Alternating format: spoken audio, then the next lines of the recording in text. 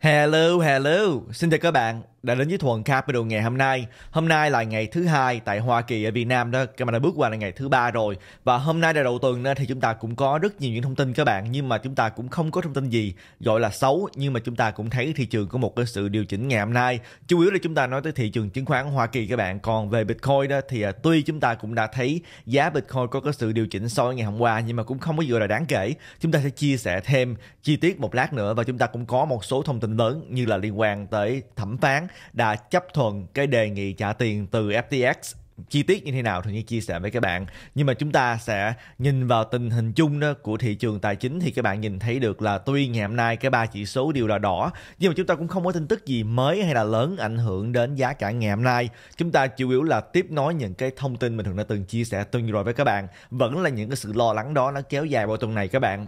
Chúng ta nhìn thấy được là chỉ số Nasdaq giảm 1.18% ngày hôm nay. Đây là cái chỉ số mà có nhiều công ty công nghệ và thật ra đó chỉ số này đã giảm cả buổi sáng rồi các bạn, nhưng mà giá Bitcoin thì vẫn ở mức cao, hơn 63.000 đô chỉ là sau khi mà chứng khoán đóng cửa đó chúng ta mới thấy à, có một cái sự điều chỉnh xuống mà thôi nhưng mà chúng ta nhìn thấy được là cả hai chỉ số còn lại đó thì đều giảm gần 1% các bạn, đó chính là chỉ số Dow Jones và chỉ số S&P 500 pre-market thì bây giờ thì xanh nhẹ lại một chút. Không chỉ là hợp đồng tương lai các bạn, Nasdaq Futures thì xanh lại 0.14% hai cái còn lại đây thì cũng xanh nhưng mà không đáng kể. Và một trong những cái chỉ số mà tiếp tục tăng gần đây, đó chính là chỉ số hợp đồng dầu các bạn, hôm nay tiếp tục tăng. Bây giờ đã mức đó là gần 77 đô cho một thùng dầu rồi các bạn. Cái mức này đó cũng không phải là cao trong vòng 2 năm qua, nhưng mà các bạn cũng đã thấy là tốc độ tăng trưởng rất là nhanh từ tuần vừa rồi tới bây giờ.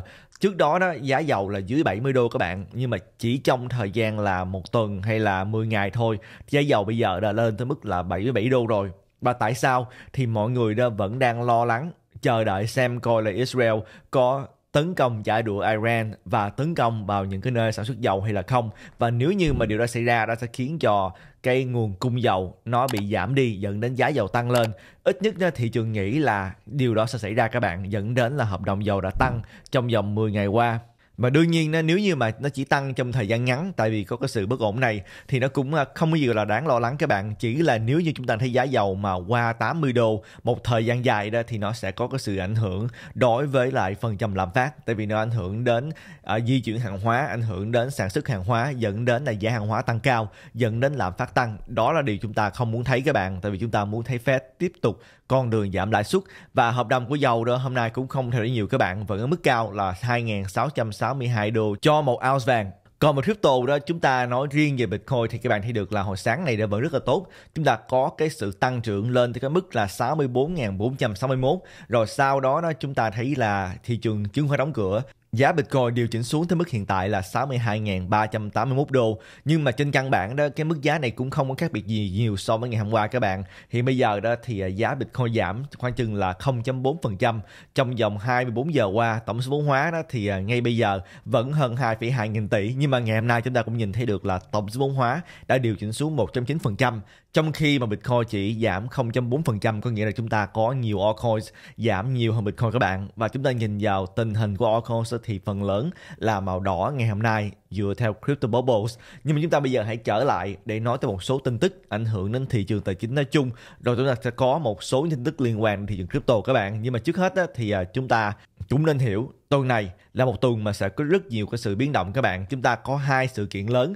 Sự kiện đầu tiên đó là vào ngày thứ tư tại Hoa Kỳ các bạn, chúng ta sẽ có cái thông tin liên quan đến văn bản cuộc họp hồi tháng 9 của Fed và chúng ta muốn xem coi là trong đó đó, ai đã nói những gì, cho chúng ta có được một cái cách nhìn xem coi là những cái đợt kế tiếp ờ, lãi suất sẽ giảm như thế nào. Chúng ta cũng đã biết là Fed đã ra quyết định để giảm lãi suất 0.5% tháng vừa rồi nhưng mà vào tháng 11 và tháng 12 đó, hai tháng cuối cùng năm nay, chúng ta muốn xem coi là có dấu hiệu gì trong văn bản họp cho chúng ta có một cái dấu hiệu là Fed chuẩn bị làm gì cho tháng 11 và tháng 12 hay là không. Tại vì tháng này sẽ không có cuộc họp nào của Fed hết.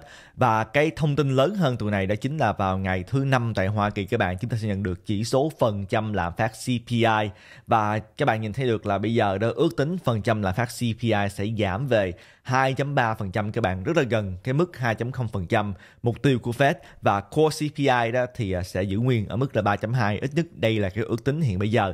Chúng ta muốn thấy phần trăm lạm phát như là ước tính hay là tốt hơn, chứ không phải là tệ hơn các bạn. Tại vì chúng ta muốn thấy Fed tiếp tục giảm lãi suất. Và ngay bây giờ đó, sau khi chúng ta nhận được cái thông tin thất nghiệp tuần vừa rồi, cộng với lại cái số lượng việc làm đã vẫn đang rất là tốt của Hoa Kỳ, hiện bây giờ chúng ta nhìn thấy được là phần lớn 86% chỉ số CME là nghiêng về Fed, chỉ giảm có 0.25% mà thôi. Và chúng ta nhìn thấy được là cái phần trăm còn lại đó là 13.7% nghĩ là Fed có khả năng là sẽ giữ nguyên lãi suất, tại vì tình hình à, thất nghiệp ở Hoa Kỳ, cộng với việc làm đó thì vẫn còn đang rất là tốt. Và nếu mà chúng ta nhận được cái chỉ số CPI mà không như mong muốn đó, thì cái phần trăm nghĩ là Fed sẽ giữ nguyên lãi suất nó sẽ còn tăng cao hơn nữa các bạn.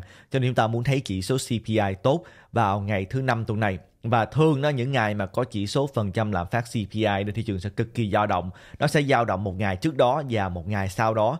Cho nên những bạn nào mà thích trading thì các bạn cũng nên cẩn thận những ngày mà có những cái chỉ số lớn như là CPI công bố. Tại vì cái phản ứng ban đầu đó của thị trường sẽ không đáng tin cậy được các bạn. Thường chúng ta phải chờ đợi khoảng chừng là 24 giờ sau đó chúng ta mới thực sự biết được thị trường nghĩ gì về chỉ số CPI chúng ta sẽ có thông tin đó vào ngày thứ năm. Và đương nhiên kênh Thuận Capital sẽ chia sẻ sớm nhất có thể và chúng ta cũng thấy là với cái suy nghĩ là khả năng cao đó là Fed sẽ bắt đầu giảm lãi suất 0.25% mà thôi. Nó khác với lại cái đây khoảng chừng một tuần các bạn. Cái một tuần đó thì vẫn có nhiều người nghĩ là Fed có khả năng sẽ giảm thêm một đợt 0.5% nữa. Nhưng mà bây giờ đó, hầu như là mọi người nghĩ là Fed nó sẽ đi theo cái tuyến đường là giảm 0.25%. Tại vì tình hình việc làm ở Hoa Kỳ bây giờ đó tương đối vẫn là ổn, cho nên họ cũng không cần phải giảm mạnh như vậy. Họ đã giảm mạnh 0.5% trong cái à, cuộc họp hồi tháng 9 để bù đắp cho việc là họ không có giảm lãi suất cho tháng 7. Nhưng đợt kế tiếp khả năng là chỉ 0.25% mà thôi. Đó là cái suy nghĩ của nhiều nhà đầu tư hiện bây giờ.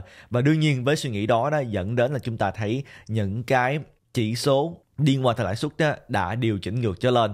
Chúng ta nhìn thấy được là công trái phiếu Hoa Kỳ 10 năm đó đã trở về cái mức là 4.0% các bạn. Hiện bây giờ là 4.018% và cái chỉ số này nó quan trọng tại vì hầu hết nợ ở Hoa Kỳ chúng ta nói tới là nợ liên quan đến là mua nhà đó thì các bạn thấy nó sẽ dựa theo chỉ số công trái phiếu của Hoa Kỳ là bao nhiêu? Và các bạn cũng thấy được là trên căn bản đó thì cái phần trăm này cũng đã giảm nhiều từ tháng 4 tới bây giờ. Tại vì các bạn thấy được là cả năm nay đó thì à, mọi người chờ đợi xem coi khi nào mà Fed giảm lãi suất, thị trường sẽ luôn đi trước một bước các bạn. Thị trường nó luôn phản ảnh, không phải là thực tại, mà phản ảnh về khả năng tương lai như thế nào. Và thị trường trái phiếu cũng như vậy, cho nên các bạn thấy được là trước khi mà Fed ra quyết định giảm lãi suất đó thì à, cái phần trăm công trái phiếu Hoa Kỳ cũng đã giảm trước đó rồi. Nhưng mà sau khi mà Fed giảm lãi suất thì có hiện tượng sell news. Và nhất là gần đây đó, với cái suy nghĩ là Fed chỉ giảm 0.25% dẫn đến là cái chỉ số này là tăng ngược trở lên các bạn. Và chúng ta cũng nhìn thấy được, điều này đã cũng khiến cho tuần vừa rồi là tuần mà chúng ta thấy đồng yên một lần nữa lại mất giá so với đồng đô la. Thường nghĩ là những bạn nào mà mới đến kênh hay là mới đến thị trường này đó thì à, các bạn cũng sẽ nhanh chóng nhận ra được là cái quyết định lãi suất, nhất là lãi suất của Fed, nó ảnh hưởng đến toàn bộ thị trường tài chính như thế nào và trong đó có luôn cả Bitcoin và crypto các bạn. Lãi suất nó ảnh hưởng đến rất là nhiều thứ, như là tỷ giá hoán đổi giữa đồng này với đồng kia ảnh hưởng tới dòng tiền đi vào những mảng đầu tư ra sao. Khi mà lãi suất cao đó, các bạn có thể nghĩ là sẽ dẫn đến công trái phiếu và những cái mảng đầu tư mà các bạn cho vay đó sẽ có tiền lời tốt hơn. Dẫn đến là nhiều người sẽ nghĩ là không cần phải mạo hiểm đầu tư vào chứng khoán hay là bất cứ một mảng đầu tư nào khác, tại vì họ có thể là mua công trái phiếu tương đối là an toàn nhưng mà lại có lãi suất không tệ. Dẫn đến là sẽ ít dòng tiền đi vào đầu tư hơn các bạn. Nhưng mà khi mà chúng ta thấy là lãi suất giảm xuống đó, thì những cái mảng đầu tư như là trái phiếu đó sẽ không còn hấp dẫn nữa, dẫn đến tiền đổ vào những cái mảng đầu tư khác. Cho nên lãi suất nó rất là quan trọng các bạn, nó ảnh hưởng đến dòng tiền đi vào thị trường tài chính đầu tư. Và chúng ta cũng nói tới tình hình của Bitcoin và tình hình chung của thị trường crypto mới đây rồi. Nhưng mà các bạn có biết là hồi sáng này đó, thì ít nhất trong một khoảnh khắc nho nhỏ đó, chúng ta cũng đang thấy là October cuối cùng cũng là October các bạn. Tăng khoảng chừng là 0.5% nhưng mà đáng tiếc bây giờ đây chúng ta thấy được đã điều chỉnh trở xuống. Thì à, trong video này đó chúng ta vẫn thấy là từ đầu tháng tới bây giờ trong vòng 7 ngày qua thì à, giá Bitcoin giảm khoảng chừng là 1,7%. Đương nhiên không phải là cái phần trăm giảm nhiều nhưng mà tháng này là October các bạn chúng ta muốn thấy màu xanh. Chỉ mới có 7 ngày chúng ta còn 3 tuần nữa cho tháng này. Và mọi thứ cứ đây thay đổi rất nhanh. Chúng ta vẫn còn thời gian nhất là với sự hỗ trợ của Jim Cramer các bạn. Cuối cùng ra thì Jim Cramer đã nói về crypto một lần nữa. Và Jim Cramer cũng như thường lệ bearish crypto các bạn. Ông nói đó là chỉ dòng tiền rời khỏi crypto mới sánh ngang với dòng tiền rời cổ phiếu công nghệ vào cổ phiếu Trung Quốc.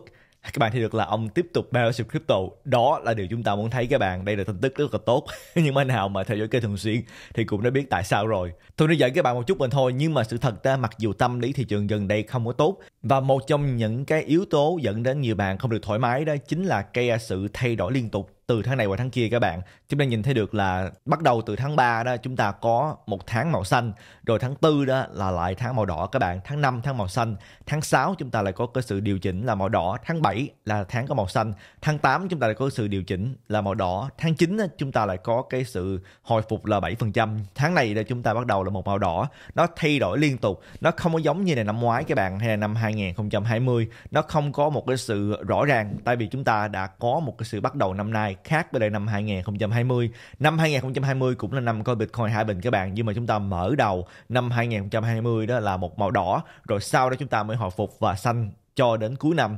Ngược lại đó, thì năm nay chúng ta mở đầu rất là xanh luôn các bạn. Có thể nói là bắt đầu từ năm ngoái đến tháng 9 cho đến tháng 3 chúng ta thấy được là tăng trưởng liên tục là 7 tháng, nhất là tháng 2 tăng tới 43% các bạn. Nhưng mà bắt đầu từ tháng 3 thì thường chia sẻ chúng ta lại có cái sự sang kẽ và chính sự sang kẽ này thường cảm thấy là khiến cho mọi người bắt đầu cảm thấy à, buồn chán các bạn và bắt đầu cảm thấy là không được vui. Nhưng mà trên căn bản đó các bạn có biết là từ đầu năm tới bây giờ Bitcoin vẫn là tài sản tăng trưởng mạnh nhất vượt trội so với tất cả tài sản khác các bạn. Đây là cái à, thống kê đến từ NYDIG thì họ so sánh tài sản Bitcoin với rất nhiều những tài sản khác như là đối với vàng. Mặc dù vàng đã đạt đỉnh mới như là năm nay các bạn trong khi Bitcoin chỉ đạt đỉnh mới hồi tháng 3 mà thôi. Nhưng mà cho dù là như vậy, năm nay là một năm mà vàng có sự tăng trưởng rất là tốt. 26.5% từ đầu năm tới bây giờ là cái phần trăm tăng trưởng rất là tốt cho vàng tại vì đó là cái tài sản có vốn hóa lớn nhất trên thế giới các bạn. Nếu chúng ta chỉ tính riêng một tài sản thì Bitcoin là cái tài sản vốn hóa nhỏ hơn cho nên sẽ có cái sự di chuyển nhanh hơn các bạn. Nhưng mà chúng ta chỉ tính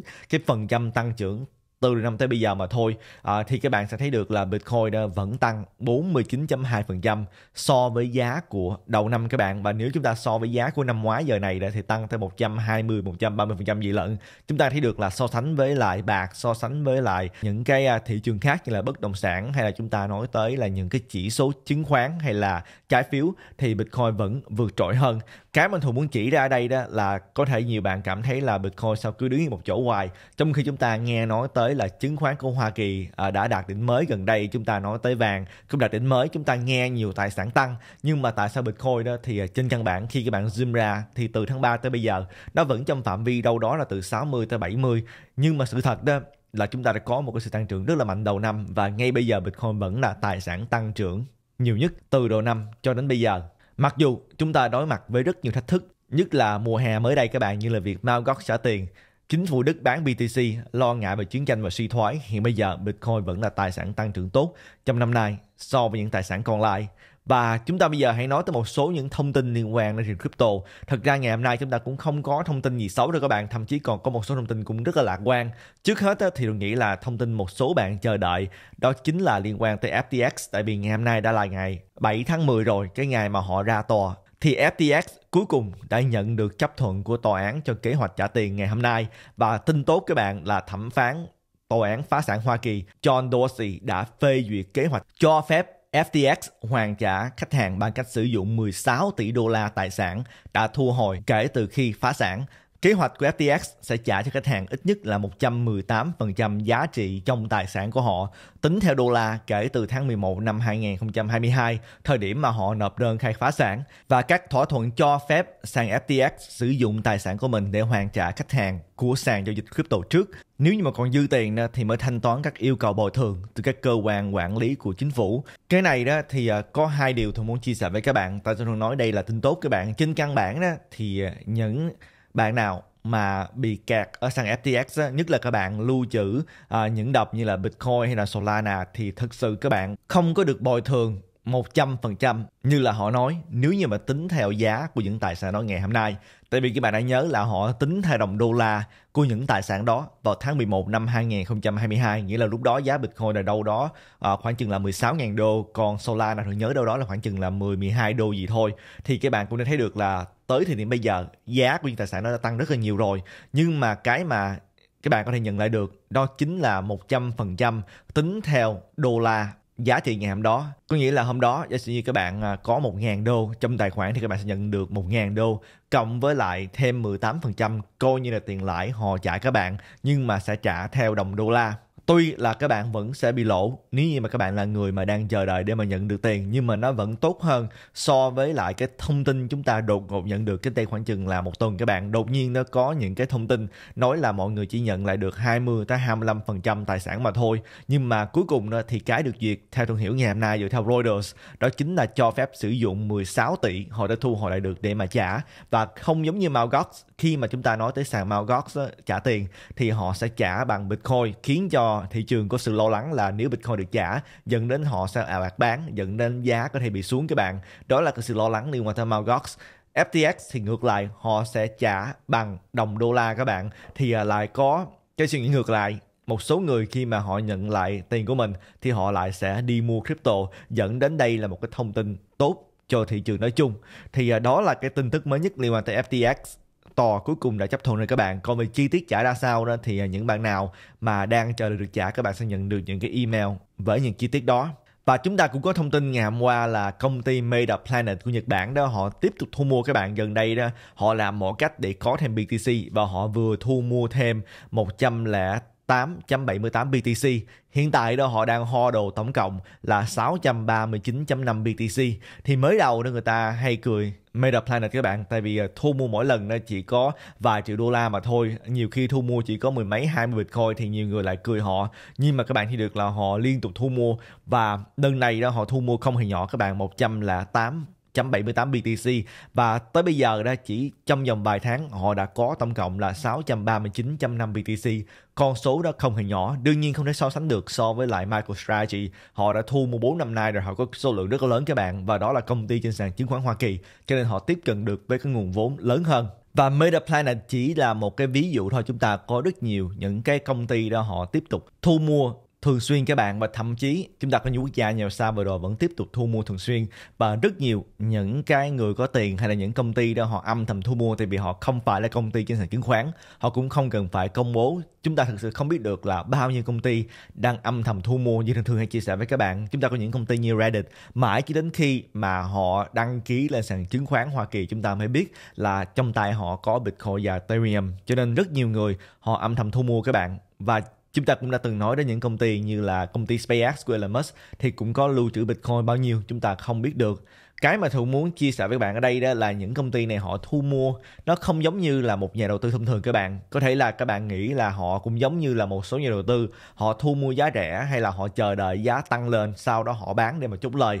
Những công ty này họ không phải hoạt động như vậy các bạn. Đây là điều mà thường đã từng chia sẻ cách đây khoảng chừng 4 năm. Lúc đó đó cũng rất là mới các bạn và không có mấy ai tin. Đó là hoạt động của họ, nhưng mà cuối cùng các bạn cũng đã thấy sự thật là như vậy. Những công ty mà họ thu mua bitcoin đó thì thường họ thu mua cho ngân khố của họ. Có thể nghĩ như thế này, họ không muốn lưu trữ quá nhiều tiền mặt, tại vì tiền mặt đó sẽ bị mất giá theo thời gian. Những công ty này đó, nếu như mà không thu mua bitcoin, họ cũng sẽ tìm cách để mà thu mua giống như là cổ phiếu, hay là họ thu mua bất cứ một tài sản nào khác. Thậm chí một số công ty họ sở hữu bất động sản vì lý do đó các bạn, họ sợ tiền bị mất giá mà họ chưa cần dùng tới tiền đó bây giờ. Thì họ lưu trữ tiền bằng cách là họ mua những tài sản đó và họ chỉ bán khi mà họ cần để làm gì mà thôi, chứ không phải là họ đợi giá lên để mà chút lời hay gì hết các bạn. Đó là cái hoạt động của những công ty này. Chúng ta cũng đang thấy là trong 4 năm qua thì cũng có một số công ty khi mà họ thu mua rồi họ cũng bán, nhưng mà phần lớn họ bán tại vì lúc đó họ cần tiền để làm một cái gì đó. Tại vì trên căn bản đây là một tài sản họ sẽ bán khi mà họ cần thiết, cho dù đó là bitcoin hay là chứng khoán hay là bất động sản hay là bất cứ một tài sản nào khác. Họ khác với lại, những nhà đầu tư thông thường và họ cũng không quan tâm đến giá hiện tại trên thị trường là bao nhiêu tại vì khi họ mua nó họ cũng không có nghĩ đến ngày bán là ngày nào các bạn, họ chỉ bán khi mà họ cần thiết mà thôi Chúng ta bây giờ hãy chuyển qua nói tới Hồng Kông đi. Các bạn sẽ dễ dàng nhận được là ngày hôm nay trên căn bản chúng ta có nhiều tin tức tốt chứ không phải là tin tức xấu. Tôi nghĩ là cái sự ảnh hưởng là đến từ thị trường chứng khoán. Chúng ta có một cái sự điều chỉnh trong thị trường chứng khoán, nó làm ảnh hưởng đến thị trường crypto các bạn. Chứ còn trên căn bản thì crypto ngày hôm nay đã cũng không có tin tức gì gọi là xấu. Chúng ta cũng có cái thông tin liên quan đến Hồng Kông các bạn. Giám đốc điều hành của ủy ban chứng khoán và hợp đồng tương lai Hồng Kông nói rằng là họ đặt mục tiêu cấp thêm giấy phép cho các sàn crypto. Tuần trước đó, họ đã cấp giấy phép cho sàn thứ ba hoạt động, đó chính là sàn HKVAX sau gần 14 tháng kể từ khi mà Hồng Kông mở cửa chào đón crypto và họ nói là có 11 nền tảng trong danh sách các ứng viên được cho là sẽ được cấp phép của Ủy ban Chứng khoán và Đồng tương lai Hồng Kông cho các nền tảng giao dịch crypto và cơ quan quản lý đã hoàn thành giai đoạn đầu tiên của các cuộc kiểm tra tại chỗ, đồng thời yêu cầu các ứng viên này thực hiện một số điều chỉnh cần thiết. Các bạn thấy được là đây đó đương nhiên cũng là một cái thông tin tốt nhưng mà nói thật đó họ rất là chậm các bạn. 14 tháng rồi, còn nhớ đó năm ngoái chúng ta nói tới Hồng Kông rất là nhiều. Nhưng mà rõ ràng sau khi mà Hồng Kông mở cửa chấp nhận crypto đó là vào tháng 6 thì à, rất nhiều những cái à, sự kỳ vọng là đến cuối năm ngoái chúng ta sẽ thấy có rất nhiều những sàn giao dịch à, được hỗ trợ và được cấp phép để hoạt động các bạn. Nhưng mà đến cuối cùng đó thì không phải. Chúng ta thấy được là sau 14 tháng họ mới cấp giấy phép để sàn thứ ba mà thôi các bạn, và không biết còn tốn bao nhiêu thời gian nữa. Cho nên với tốc độ này thì Hồng Kông sẽ sẵn sàng chỉ được bô nhưng mà năm 2028 các bạn, tại vì họ rất là chậm.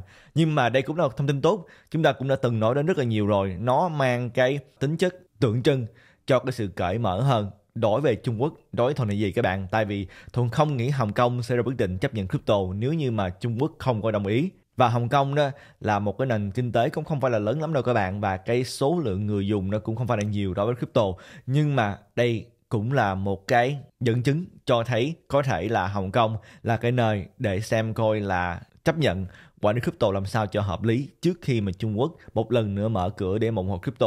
Đó là cái kỳ vọng hiện bây giờ. Chúng ta cũng nói khá nhiều uh, về uh, Gary Gensler trên channel này các bạn, đó chính là chủ tịch SEC tại Hoa Kỳ. Thì uh, chúng ta cũng thấy được là bên của tổng thống Trump đó, thì cũng đã đưa ra lời hứa hẹn là sẽ sa thải Gary Gensler nếu như mà ông đắc cử. Và ngay cả bên của phó tổng thống Kamala Harris, những người mà ủng hộ bà giống như chúng ta nói tới tỷ phú Mark Cuban thì cũng đã nói là đội của bà đó thì không một ai thích Gary Gensler. Có thể nói như thế này, cho dù là đắc cử đó thì khả năng Gary Gensler cũng sẽ phải rời khỏi chức vụ các bạn. Và Political ngày hôm nay đã nói là chúng ta có khả năng thấy giám đốc pháp lý của sàn Robinhood. Đây là một sàn mà cũng rất ủng hộ crypto các bạn. Đó chính là Dan Gallagher, là một ứng viên hàng đầu cho vị trí chủ tịch SEC nếu như mà Donald Trump thắng cử. Và đương nhiên thị trường cho đây là tin tốt tại vì ông là một trong những người mà đứng lên để mà chống đối với SEC và ủng hộ crypto. Chúng ta có một cái thông tin khác nữa, thì ờ, cũng rất lạc quan các bạn. Đây là cái thông tin đến từ Rockdale ở bang Texas, là thị trưởng của Rockdale, cho biết là việc đào Bitcoin đã cứu nền kinh tế của thị trấn. Nền kinh tế của Rockdale đã suy sụp sau khi mà nhà máy Alcoa đóng cửa. Nhưng mà các công ty đào Bitcoin đã xoay chuyển tình hình với việc cung cấp việc làm và đầu tư tiền vào thành phố này các bạn. Các công ty đào Bitcoin đã đầu tư hơn 1 tỷ đô la vào thành phố Rockdale đóng thuế lớn và hỗ trợ các hoạt động địa phương như là trường học, cảnh sát và các sự kiện cộng đồng. Việc đào Bitcoin đang bùng nổ khắp Texas tạo ra hơn 22.000 việc làm với các cơ sở mới hứa hẹn sẽ mang lại sự tăng trưởng hơn nữa cho những cái thị trấn như là Corsicana, đây chỉ là một cái ví dụ mà thôi các bạn, đào Bitcoin đó còn có thể ổn định nguồn cung điện bằng cách xử lý các nguồn điện dư thừa.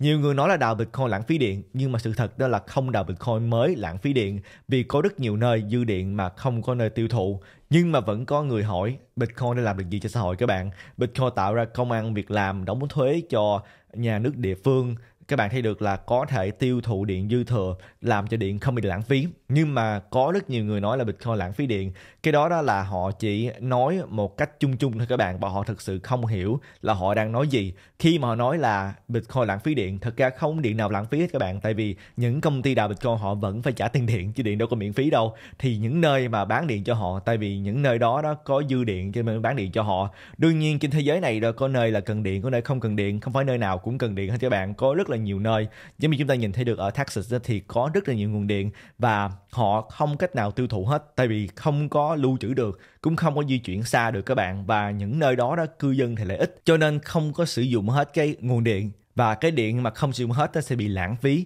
Và chúng ta cũng có rất là nhiều nơi đó không có cái cơ sở hạ tầng để mà di chuyển điện được các bạn, và cũng không có người ở giống như trên núi hay là cả một số nơi. Thì đào bitcoin một cách để mà chuyển đổi cái năng lượng dư thừa đó thành một tài sản có thể lưu trữ được. Đó là công dụng của bitcoin ở một số nơi các bạn đó là lý do tại sao mà chúng ta thấy có một số nơi họ không có thích những cái xưởng đào Bitcoin thì ờ, tại vì họ không đủ điện thì cái đó không nói các bạn. Nhưng mà nếu như họ không thích thì họ không cung cấp điện thì những cái công ty đào đó sẽ đi một nơi mà có dư điện chào đón họ và rất nhiều nguồn điện đào Bitcoin đã đến từ năng lượng thiên nhiên các bạn. Chúng ta thấy được là những thống kê cho thấy bây giờ đã hơn 50% là sử dụng năng lượng thiên nhiên để mà đào Bitcoin rồi. Cho nên những ai mà họ nói đào Bitcoin lãng phí điện đó, thật ra họ cũng không có hiểu rõ bên trong như thế nào đâu các bạn. Khi mà các bạn kêu họ giải thích thì ờ, họ chỉ nói những con số chung chung mà thôi.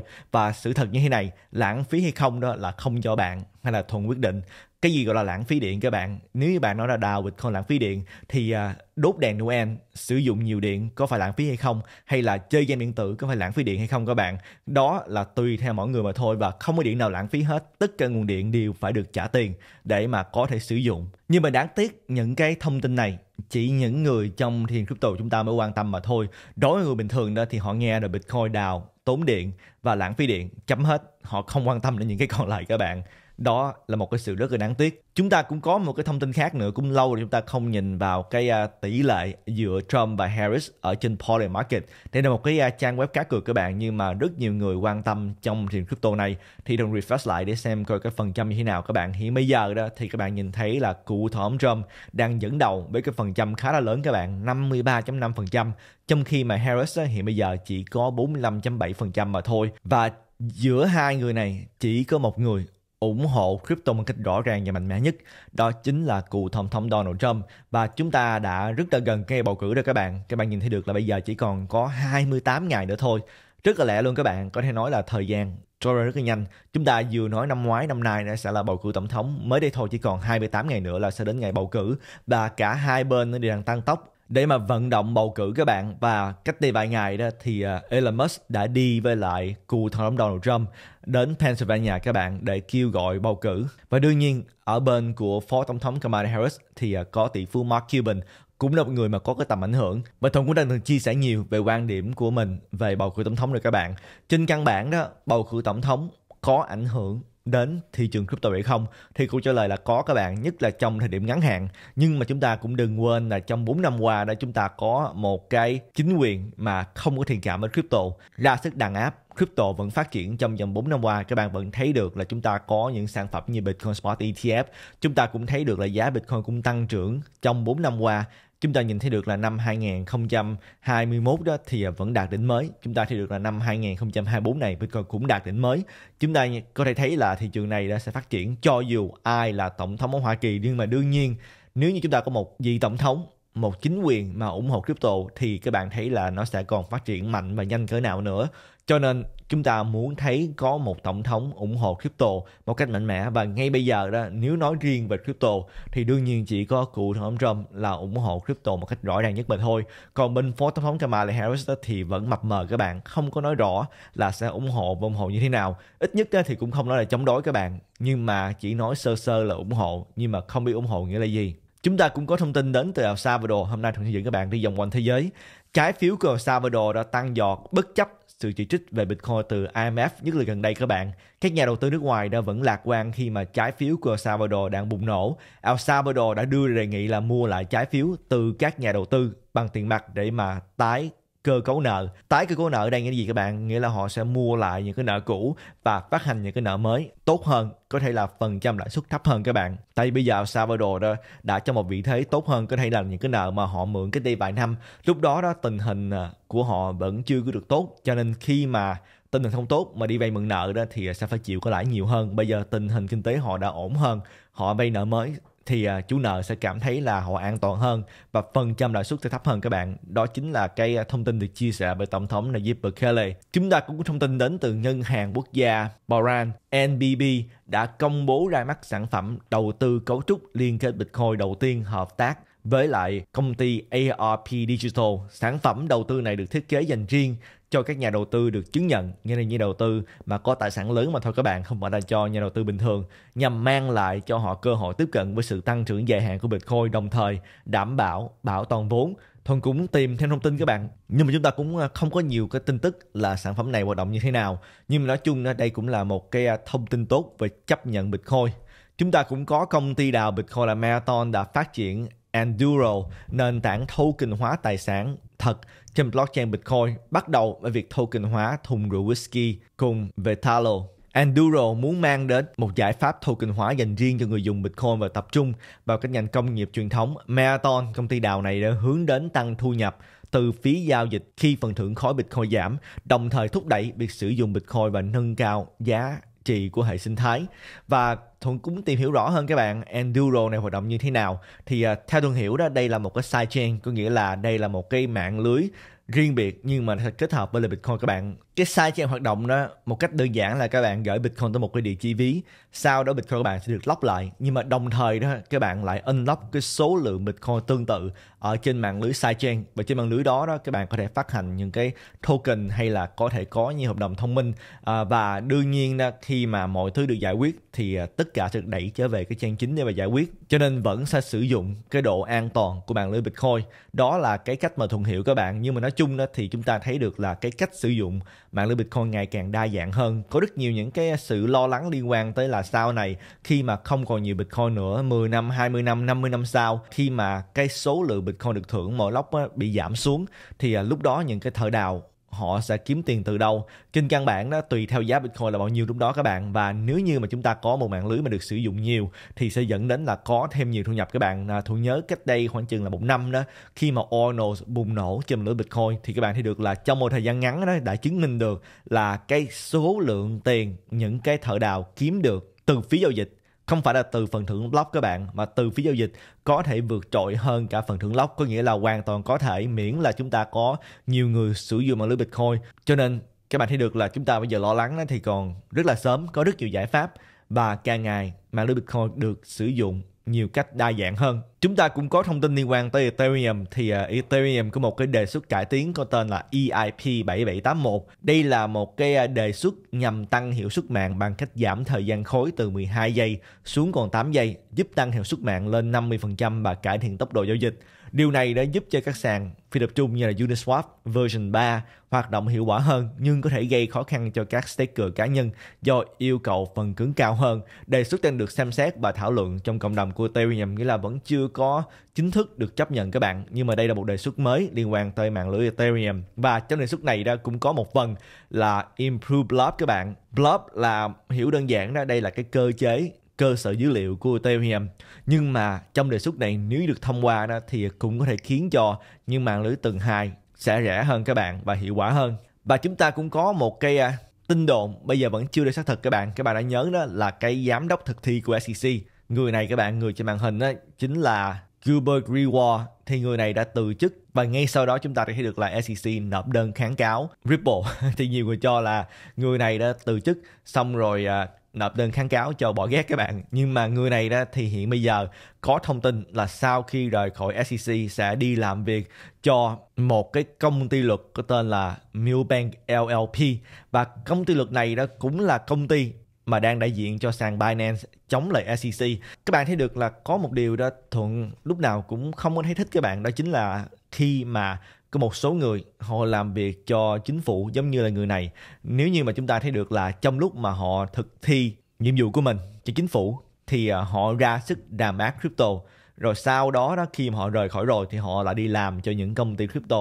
Thường cảm thấy cái này nó có gì đó không đúng các bạn. Giống như chúng ta đã thấy chủ tịch cũ của SEC đó chính là Jay Clayton. Jay Clayton cũng là người mà nộp đơn kiện XRP rồi sau đó sau khi mà rời khỏi chức vụ chủ tịch SEC đã đi làm việc cho công ty luật ủng hộ chuyện crypto. Nhưng mà tất cả những cái này có thể sẽ sớm chấm dứt thôi các bạn. Cái mà chúng ta thực sự cần để kết thúc tất cả những cái à, sự đàn áp, những cái vụ kiện này đó chính là luật đến từ quốc hội và cuộc điều trần gần đây quốc hội đã có thể cho các bạn thấy rất rõ ràng là quốc hội đã mất lòng tin cũng như là họ đã mất hết tính kiên nhẫn rồi các bạn thấy được là cái à, cuộc điều trần gần đây đã trên căn bản là một cái à, cuộc quở trách SEC chứ không phải là một buổi điều trần để xem coi là chủ tịch Giao Johnson muốn nói gì. Bạn được là không cho ông cơ hội nói luôn. Tại vì trên căn bản quốc hội đã ra quyết định là họ sẽ ra luật mới rồi. Thuận cảm thấy là luật mới đó đang tiến rất là gần. Chúng ta cũng nói về luật crypto Hoa Kỳ mấy năm qua, nhưng mà thuận cảm thấy là bây giờ nó gần hơn bao giờ hết. Chúng ta nhìn thấy được là cách đây à, khoảng chừng một tháng đó, thì à, quốc hội ở Hoa Kỳ đã gửi một cái lá thư đến cho FDIC các bạn, đây là cái à, cơ quan lo về phần bảo hiểm cho những cái ngân hàng. À, chúng ta nói nhiều về FDIC khi mà ngân hàng bị sụp đổ các bạn khi mà ngân hàng bị sụp đổ đó thì à, FDIC sẽ tiếp quản ngân hàng đó để quản lý thiệt hại. Và hạ viện ở Hoa Kỳ muốn biết giữa FDIC và SEC đã từng có những cái trao đổi gì nhất là liên quan đến thị trường crypto này mà nhất là liên quan đến cái sự rõ ràng về những ngân hàng ủng hộ thị trường này và những cái quy định liên quan tới lưu ký tài sản kỹ thuật số. Nói chung thì à, Thuần cảm thấy là Quốc hội đang tiến sát tới, họ đã ra cái quyết định ta sẽ phải ra luật mới rồi. Luật đó như thế nào? Thôi nghĩ chúng ta sẽ biết sớm mà thôi. Họ đã không có lòng tin chờ đợi những đơn vị như là SEC quản lý thị trường này nữa. Và chúng ta bây giờ hãy nói tới một số những cái à, thông tin liên quan tới Bitcoin Spot ETF. Ngày hôm nay đó là một ngày cũng rất là tốt các bạn. Chúng ta nhìn thấy là vẫn chưa có thống kê đến từ BlackRock, nhưng mà hiện bây giờ đó chúng ta nhìn thấy là Bitcoin Spot ETF có dòng tiền dương là 137 triệu. Nói chung là phần lớn đó đều có dòng tiền dương ngày hôm nay. Và về Ether Spot ETF đó, ngày hôm nay như thế nào các bạn? Hôm nay chúng ta không có động tĩnh gì hết ngược lại chúng ta à, cũng thấy là tất cả trong đó có cả grayscale các bạn tất cả đều là con số không. Không có đồng tĩnh gì. Chúng ta chờ đợi xem ngày hôm nay đó BlackRock có tiếp tục thu mua hay không. Tại vì gần đây chúng ta nhìn thấy BlackRock đó đã có cái sự thu mua Ether Spot ETF không phải là nhiều các bạn nhưng mà cũng đỡ hơn là trước đó. Trước đó có rất nhiều ngày là không đô la. Ít nhất bây giờ chúng ta cũng thấy là BlackRock cũng đã có một số động tĩnh là thu mua Ethereum. Còn về phần trăm Bitcoin có lời là bao nhiêu các bạn? Thì ngay thời điểm bây giờ đó, phần trăm Bitcoin có lời. Ở mức là 62.300 đô thì à, chúng ta thấy phần trăm có lợi mức là 81.6% ở thời điểm hiện tại dựa theo Glassnode. Và đây là tất cả những thông tin mà Thuần muốn chia sẻ với các bạn trong cái video ngày hôm nay. Thuần hy vọng là các bạn sẽ nhận được nhiều giá trị trong video này. Nhưng mà nào muốn tìm hiểu như đãi dành riêng cho cộng đồng ở Thuần Capital thì có thể tìm hiểu bằng cách là bấm vào cái link ở bên dưới video này để tìm thấy những ưu đãi như là các bạn có thể nhận được bonus hay là giảm phí giao dịch lên tới 30% khi mà tham gia vào những sàn như là Bybit, OKX, XM, Binance, Alinex và một số số những dịch vụ khác như là các bạn đang nhìn thấy trên màn hình. Nhưng bạn nào mà sử dụng sàn giao dịch thì chỉ nên dùng để mà giao dịch mà thôi, không nên lưu trữ quá nhiều tiền trên sàn. Và Thuận sẽ hẹn gặp lại các bạn trong video kế tiếp. Tạm biệt các bạn.